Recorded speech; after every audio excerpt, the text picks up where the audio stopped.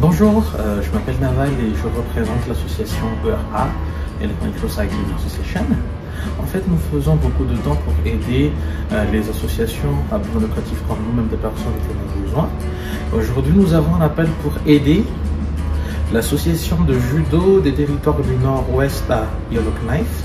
Dans le territoire du Nord-Est a besoin de trois ordinateurs portables i7 pour les instructeurs. Costi Migrant Service à Toronto aide les nouveaux euh, arrivants au Canada. Euh, ils aimeraient 50 ordinateurs portables i5.